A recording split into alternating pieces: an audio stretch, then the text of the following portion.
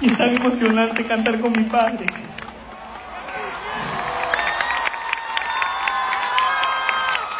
¿Cómo voy a olvidarte si ha sido tu vida la ofrenda más querida?